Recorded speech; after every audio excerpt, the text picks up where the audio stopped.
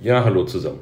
Wir wollen ja jetzt hier unseren Graphen für die Schiffsfahrten über den Chiemsee, sehen wir hier rechts nochmal den Graphen, implementieren. Und dazu hatten wir uns ja bereits eine Grobstruktur angelegt, bestehend aus der Klasse Graph. Da sehen wir eine Knotenliste, eine Adjazenzmatrix für die gewichteten Kanten und zwei Methoden zum Einfügen von Knoten sowie Kanten. Das ist jetzt erstmal das Wichtigste, um einen Graphen nachher aufbauen zu können.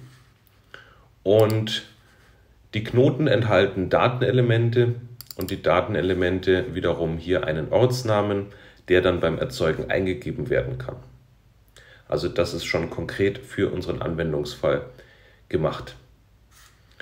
Und mit dieser Grobstruktur können wir jetzt in einer extra Klasse diesen konkreten Graphen hier rechts aufbauen.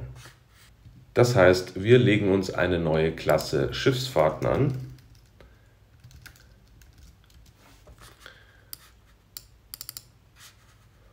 Und die verwendet jetzt dann eben unseren Graphen. Also Public Class Schiffsfahrten. Und die verwendet die Datenstruktur Graph und diesen Graph kürze ich einfach mit G ab. Und im Konstruktor unserer Schiffsfahrten wird jetzt dieser Graph erstmal aufgebaut. Als erstes lege ich dazu nur mal die Knoten an, die ich dann anschließend in der entsprechenden Reihenfolge einfüge, denn wir sprechen ja die Knoten über den Index aus der Knotenliste an und deswegen sollte man dann auch wissen, welcher Knoten hier in dem Graph rechts welchen Index trägt und das habe ich hier jetzt einfach schon mal mit den hellblauen Ziffern nummeriert von 0 bis 8. Wir haben insgesamt neun Knoten nachher. Ein Array beginnt ja mit der Indizierung immer bei 0, das sollte man wissen. Und Prin hier, das P, ist eben der erste Knoten. Also ich habe einfach links angefangen und mich dann hier so durchgearbeitet. Also, erst einmal legen wir genau in dieser Reihenfolge die Knoten an. Das heißt, wir erzeugen einen Knoten namens K0 passend zu dem Index und der kriegt ein neues Datenelement als Inhalt und das trägt den Ortsnamen Prim. Genauso geht es dann weiter. Knoten K1 ist ein neuer Knoten mit einem neuen Datenelement. Herreninsel, das ist das HI. Knoten K2 ist ein neuer Knoten mit neuem Datenelement Bernau. Und so geht es jetzt weiter. Das werde ich gleich noch fertig programmieren. Du kannst jetzt hier an der Stelle pausieren und die gerade genannten Sachen für dich übernehmen und eben auch noch die fehlenden sechs Knoten äh, fertig anlegen und dann geht es weiter, dass wir den Graphen aufbauen. So sollten deine Knoten jetzt ausschauen. Also hier schon mal der Index quasi im Knotenbezeichner mit drin und dementsprechend dann die Datenelemente mit den passenden Ortsnamen.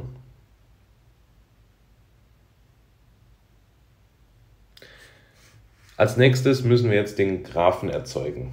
Das heißt,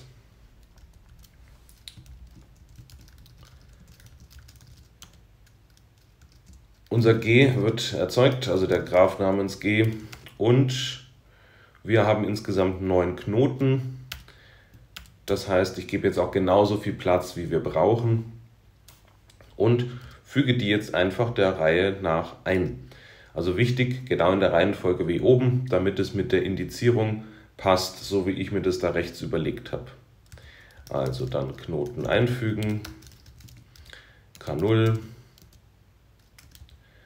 G-Punkt-Knoten einfügen, K1 und so weiter bis zum Knoten K8. Auch das kannst du jetzt wieder selber machen und ähm, kurz pausieren und dann geht es gleich weiter mit den Kanten. So, das sollte dann so ausschauen. Zugegeben, es ist viel Schreibarbeit jetzt, diesen Graphen hier aufzubauen, aber das muss man ja zum Glück dann nur einmal machen. Und jetzt müssen wir uns die Knoten anschauen, wie die miteinander verbunden sind, das heißt, wie wir die Kanten einfügen müssen. Also, nächster Schritt, eine Kante einfügen. Und da brauchen wir ja die Information von wo nach wo mit welchem Gewicht. Das heißt, dieser Pfeil hier von Prien zur Herreninsel mit der Dauer 15, also den Kosten 15, geht also von dem Knoten mit Index 0 zum Knoten mit Index 1 mit dem Gewicht 15. Das heißt, genau diese Kante füge ich durch diesen Befehl ein. Und so muss ich das jetzt für jede einzelne Kante machen und zwar immer vom Startindex zum Zielindex. Und da helfen eben auch wieder hier diese hellblauen äh, Nummern.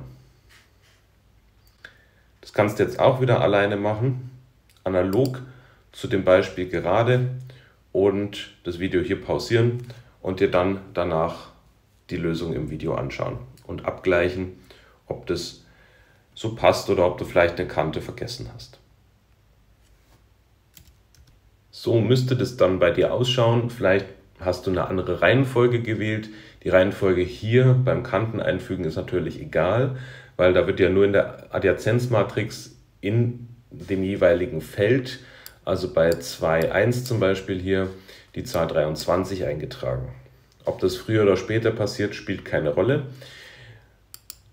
aber äh, diese Kanten solltest du haben und ich habe jetzt auch hier immer gleich äh, hin und her quasi eingegeben, sofern es das gab und mich so systematisch durchgearbeitet. Vielleicht auch jetzt hier nochmal an der Stelle pausieren und mit deinen Lösungen abgleichen. Gut, und damit ist der Graph jetzt komplett aufgebaut. Das Übersetzen liefert keine Fehler, das ist gut. Und jetzt können wir uns noch um die ersten Methoden kümmern, die sinnvoll sind, wenn man mit dem Graphen arbeiten möchte. Wenn ich jetzt nämlich zum Beispiel die Fahrzeit von Start zum Ziel haben möchte oder wissen möchte, wo kann ich überall hinfahren, wenn ich auf der Herreninsel bin, dann weiß ich natürlich nicht, ähm, welchen Index dieser Knoten in meinem Graphen in dieser Knotenliste hat. Und deswegen sollte es eine Methode geben, die zu einem eingegebenen Ortsnamen den entsprechenden Knotenindex raussucht für uns.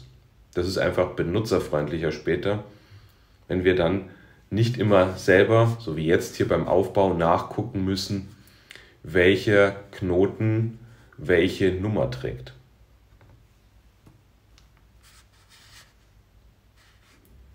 Das heißt, wir programmieren uns hier, jetzt mal ein bisschen nach oben, wir programmieren uns hier folgende Methode. Public int Index zu Ort und den Ort gebe ich eben ein. Und da möchte ich den Knotenindex wissen. Das heißt, das Ergebnis sollte eine lokale Variable namens Index sein und die bekommt bei mir jetzt den Startwert minus 1. Das hat den Sinn, dass falls dieser Ort überhaupt gar nicht existiert in meinem Graphen, der Index minus 1, der keinen Sinn ergibt, als Fehlerwert am Ende zurückgegeben wird. Das heißt, ich werde mir jetzt die Knotenliste aus dem Graphen holen und hier zwischenspeichern in einem Array aus Knoten das nenne ich auch genauso. Und dann hole ich mir eben die Knotenliste aus meinem Graphen raus. Das macht jetzt eben Sinn, dass die Klasse Graph, von dieser Klasse ist ja dieses Objekt G, das haben wir eben oben erzeugt, das verwaltet jetzt einfach die komplette Struktur. Und ich frage diese Struktur nur ab und speichere sie mir hier zwischen, damit, falls ich hier mal was Falsches mache, nicht den Graphen zerschieße, den ich gerade aufgebaut habe. So, jetzt haben wir also eine Kopie unserer Knotenliste aus dem Graphen hier gespeichert. Mit der kann ich jetzt arbeiten. Und jetzt muss ich eben dieses Feld, diese Knotenliste durchgehen. Das machen wir mit einer Vorschleife, ganz klassisch. Fangen bei 0 an, also ganz vorne. Und wir gehen so weit, wie wir Knoten haben. Und in dem Fall weiß ich ja, dass es insgesamt neun Knoten sind. Das heißt, wir laufen bis i kleiner als 9, weil das Array haben wir ja gerade so groß erzeugt, dass alle Knoten Platz haben und wir keine Lücken haben. Und dann i für das Ende zum Hochzählen. Und jetzt gehe ich jeden Knoten in der Knotenliste Liste systematisch durch. Also, ich hole mir erst einmal das Datenelement von diesem Knoten, bei dem ich gerade bin.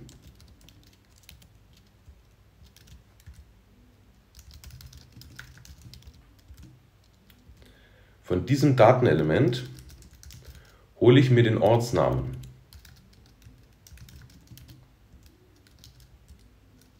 Dazu haben wir da eine Methode Name geben. Das heißt, jetzt habe ich in dieser Variable Ortsname den Namen des Ortes, der in der Knotenliste an der Stelle i, da ist ein Buchstabendreher, gespeichert ist. Und jetzt muss ich überprüfen, ist dieser Ortsname bei diesem Knoten mit Nummer i genau der Ort, nach dem ich gesucht habe. Das machen wir also über eine if-Abfrage. if Ortsname.equals, das ist ein bisschen besser als das doppelte ist gleich, wenn ich Strings vergleiche, ob das genau der Ort ist. Wenn das der Fall ist, also der Ort ist der gesuchte Ort. Wenn das zutrifft, dann setzen wir unseren Index auf i.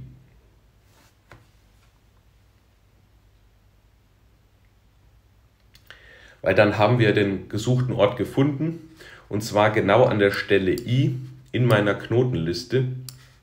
Das heißt, der gesuchte Index ist auch i. Theoretisch könnte ich jetzt die Suche sogar abbrechen. Das heißt, ich müsste jetzt nicht weiter suchen, weil es sollte jetzt keinen zweiten Ort mit dem gleichen Namen geben. Der Einfachheit halber lassen wir aber einfach die Vorschleife bis zum Schluss durchrattern und dann wird halt diese Bedingung nicht mehr erfüllt sein, wenn wir den Ort schon vorher mal gefunden haben. Ja, und wenn das einmal durchgelaufen ist, dann geben wir diesen gefundenen Index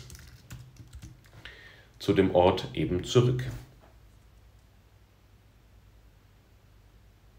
Und nochmal kurz zur Erinnerung, falls der Ort gar nicht gefunden wird, das heißt diese Bedingung immer falsch ist, weil ich meinetwegen nach München hier suche, dann ist der Index nach wie vor minus 1, dann wird der ja hier nie geändert und diese minus 1 wird auch am Ende als Fehlerwert zurückgegeben. Am besten pausierst du jetzt und tippst die Methode dementsprechend ab, so wie hier gezeigt, und gehst es nochmal für dich auch durch, was hier eigentlich genau passiert.